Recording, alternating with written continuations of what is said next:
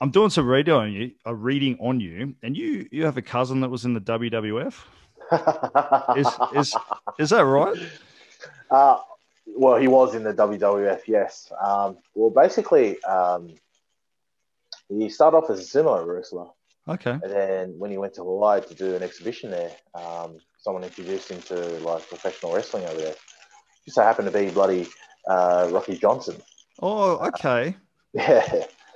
So um, basically, he joined up with uh, Rocky Johnson on on the road uh, doing their wrestling gigs, and yeah, so happened to uh, have uh, a bit of guidance for the Rock as well.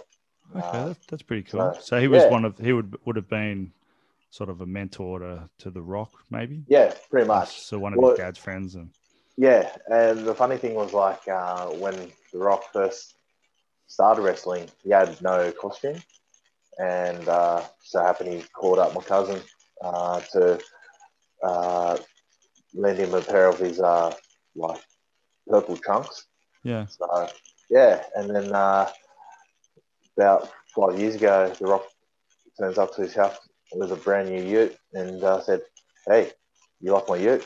It's like, oh, this is my cousin. said, "Yeah, looks Yeah. nice." He said, "Well, it's yours."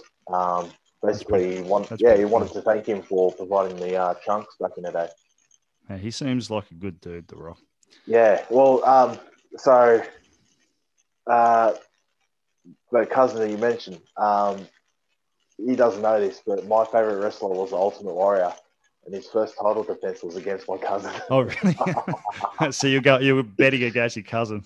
yeah, pretty much. But uh, I said, oh, yeah, oh no, not too much, that type of stuff. So, yeah. What was uh, what was his wrestling name? uh, King Haku. King Uh, Haku. for- Okay. He also made a an uh, appearance in WCW Oh yeah. uh, as Meng. So okay, cool. yeah.